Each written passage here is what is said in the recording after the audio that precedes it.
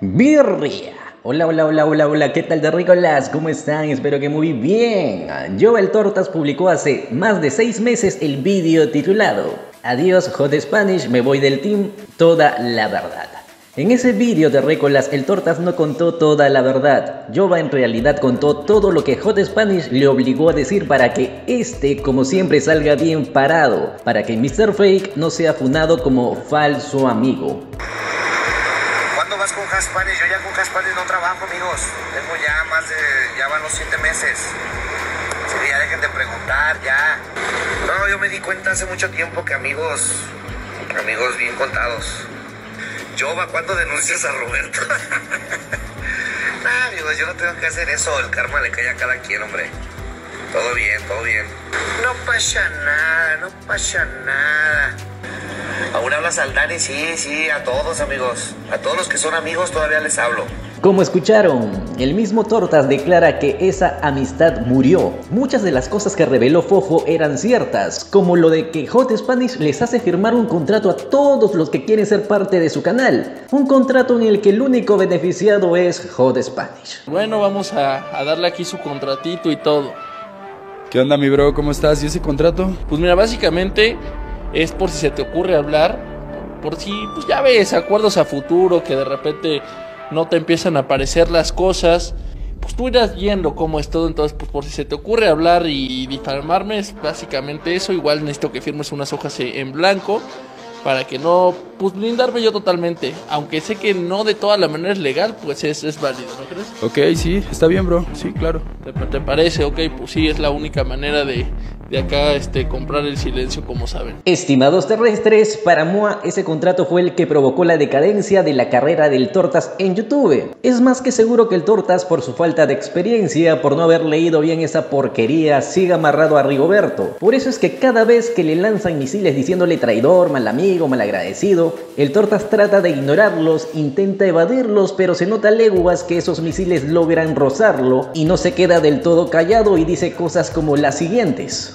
Ay, nadie se dice, no se te olvida que por quién viniste a México y tienes papeles. Na- amigos, nadie sabe nada, ya mejor no opinen. Ya mejor no digan ni madre, no me hagan envergar, yo ando bien tranquilo, haciendo lo mío, poco a poco. No, pues si estoy bloqueando a todos los pendejos que no saben decir estupideces. Que gracias a Roberto, no, pues Roberto no tiene eh, nada gracias a mí, ¿verdad? Ay, amigos, ya mejor Que yo no quiero hablar ni decir pendejadas, pero no me dejan otra opción. No van a dejar otra opción, amigos, que ponerle un alto a esto. Todos los que estén hablando pendejadas y mierda a la verga. A chingar su madre. Bloqueados se van.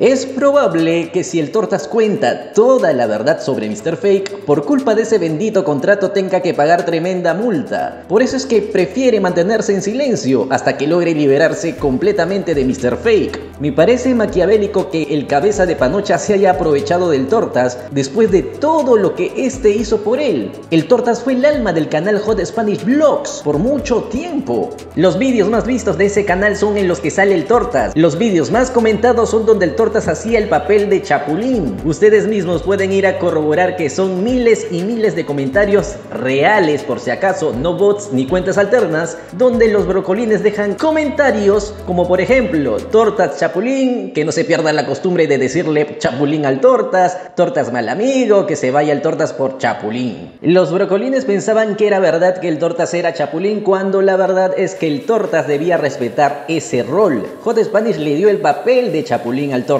papel que debía seguir tanto en los vlogs falsos como fuera de cámaras. Comprendan terrícolas que así estaba estipulado en ese perverso contrato, contrato que firman todos los que quieren ser parte de Madriguera Vlogs. gente que traes ahí trabajando contigo, güey. Porque te traen coraje y envidia a fin de cuentas, güey. Porque ellos no pueden hablar, güey. Quieren que yo lo diga y no soy mierda, güey. Neta, fuera mierda. Digo lo del pirata, güey.